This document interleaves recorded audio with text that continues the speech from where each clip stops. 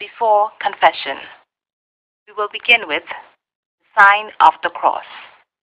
In the name of the Father, and of the Son, and of the Holy Spirit. Amen. Bless me, Father, for I have sinned. This is my first confession, and I accuse myself of the following sins.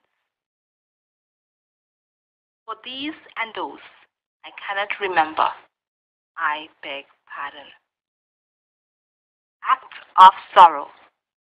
Oh my God, because you are so good, I am sorry that I have sinned against you. And with your help, I will not sin.